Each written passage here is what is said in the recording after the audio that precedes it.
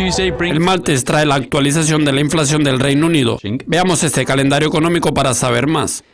El muy esperado IPC británico de diciembre es el primer elemento del calendario y saldrá a las 9 y 30. La inflación anual se aceleró en noviembre, alcanzando un máximo de dos años.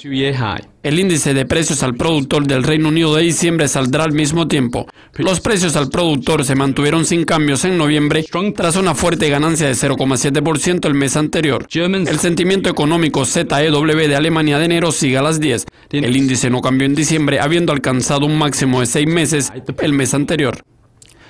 A la 1 y 30 pasado meridiano saldrá el índice manufacturero Empire State de enero.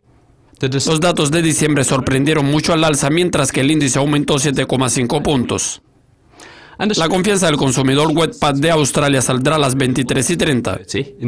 El índice cayó durante los últimos dos meses, reflejando la contracción del PIB australiano en el tercer trimestre.